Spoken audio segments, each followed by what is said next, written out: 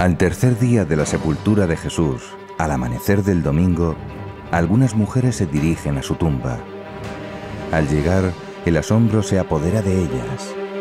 La piedra que la cerraba ha sido corrida. Un ángel les dice, no está aquí, ha resucitado. Inmediatamente avisan a los apóstoles. Pedro y Juan corren a comprobarlo y vieron el sepulcro vacío. Jesús, el Mesías, ha resucitado. El Evangelio de San Juan describe la escena con vivo realismo. La sábana permanece tal y como había sido colocada envolviendo el cuerpo de Jesús. A un lado está el sudario que envolvía su cabeza, pero ya no contienen nada.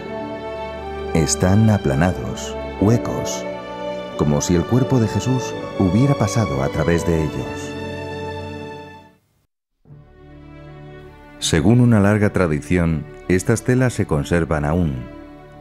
Esta es la sábana santa de Turín. En ella se han descubierto impresas en negativo las huellas de la flagelación y de los clavos de un crucificado. La sangre es la más común de la raza judía.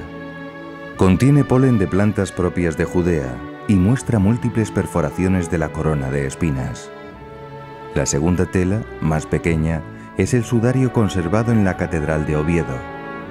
Muestra el mismo tipo de sangre, polen de Israel, iguales orificios de espinas e incluso restos de mirra y aloes, el ungüento con el que, según relatan los evangelios, se embalsamó el cuerpo de Cristo. Los datos científicos permiten creer que son los lienzos usados para amortajar a Jesús. El milagro de la resurrección es el fundamento de la fe en Jesucristo. Es también la raíz de la esperanza cristiana y la verdad histórica por la que entregaron su vida tantos miles de mártires a lo largo de los siglos. Como dijo San Pablo, si Cristo no hubiera resucitado, vana sería nuestra fe. Pero realmente el Señor ha resucitado y vive para siempre. Lo sabemos por tantos testigos que nos transmitieron esta verdad y entregaron su vida por ella. Repetidas veces se apareció Jesús tras su resurrección. A las mujeres que le seguían, a Pedro y los apóstoles y también a otros discípulos, como a los dos que iban camino de Emaús. Al incrédulo apóstol Tomás le muestra las llagas de sus manos y costado, prueba de su humanidad resucitada. En esta pequeña iglesia de Tagba, a orillas del lago de Genesaret, se venera una de las apariciones de Jesús a los discípulos. Y la confirmación a Pedro y a sus sucesores, los romanos pontífices, en el primado de la iglesia. En la vida y muerte de Jesús se cumplen las profecías del Antiguo Testamento.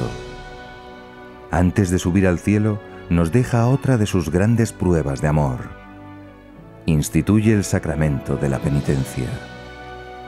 En él confiere a los apóstoles la potestad de perdonar los pecados. Recibid el Espíritu Santo.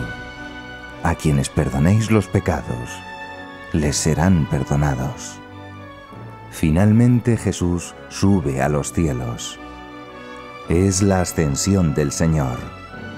Sus discípulos le ven desaparecer cubierto por una nube. Según la tradición, fue en este lugar, en el Monte de los Olivos. Las últimas palabras de Jesús siguen alentando a los cristianos. Id por todo el mundo, predicad el Evangelio a toda criatura y enseñad a todas las gentes, bautizándolas en el nombre del Padre, del Hijo y del Espíritu Santo, enseñándoles a guardar cuanto os he mandado. Y sabed que yo estoy con vosotros todos los días hasta el fin de los siglos. Jesús nos reveló la intimidad misma de Dios, el misterio de la Santísima Trinidad. Un solo Dios en tres personas distintas, Padre, Hijo y Espíritu Santo. Los hombres no podemos comprender este misterio, pero gracias a Jesús podemos atisbar algo de la inmensa riqueza, grandeza y amor de la intimidad divina.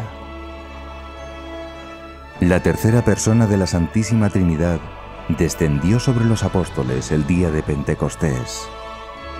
Un viento impetuoso, en forma de lenguas de fuego, se posó sobre ellos llenándoles del Espíritu Santo. Desde entonces los apóstoles darán testimonio ante el mundo del amor de Cristo, con la ayuda poderosa de Santa María, Madre de la Iglesia.